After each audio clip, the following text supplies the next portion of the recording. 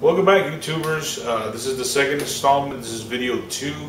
This is uh, all the buttons now coming in. So in other words, we're going to be pushing the bellow in on the accordion.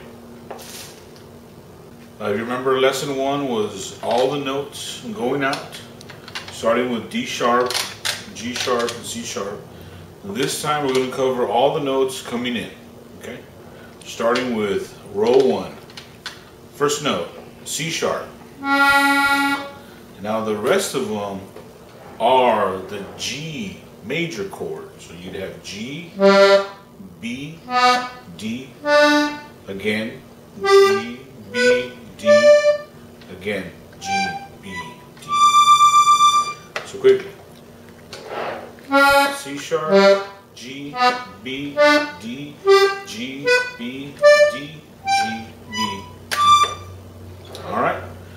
Coming back in, here's the middle row. This middle row, outside of the first note, which is F sharp, is a C triad. Actually a C starting off in first inversion.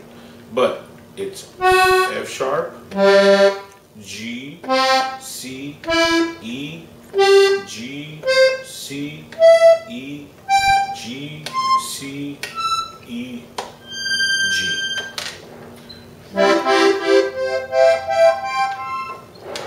Again. F sharp, G, C, E, G, C, E, G, C, E, G.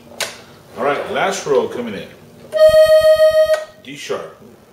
Uh, two. D sharp. C, F, A, C, F,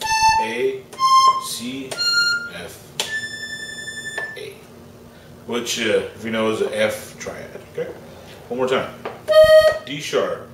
C, F, A, C, F, A, C, F, A. So, basically, first row coming in, your G triad, middle row,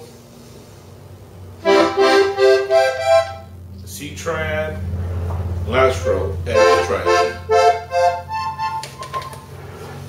Alright guys, hope you enjoyed that. Don't forget to subscribe. Thank you.